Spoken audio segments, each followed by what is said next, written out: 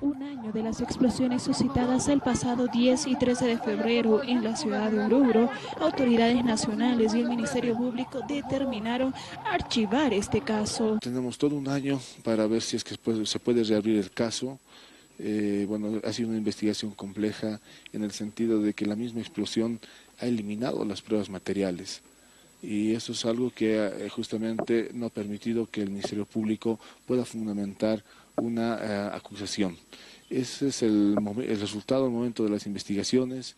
Eh, el principal sospechoso ha quedado libre y el caso de momento ha sido archivado eh, con todos eh, los pormenores que les he comentado. Esta determinación fue asumida debido a la falta de elementos para el proceso investigativo. Por otra parte, el principal sospechoso que guardaba detención preventiva en el penal de San Pedro fue beneficiado con medidas sustitutivas. Sí, hemos tenido varias pruebas técnicas y periciales a cargo incluso de la empresa de explosivos que depende del, del ejército, eh, Fanexa.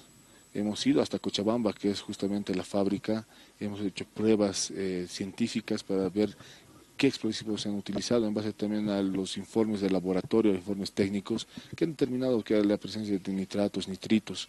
La cantidad incluso de los explosivos se ha determinado, la posición en donde se ha dejado la carga, eh, se ha determinado tanto en la primera explosión como en la segunda explosión.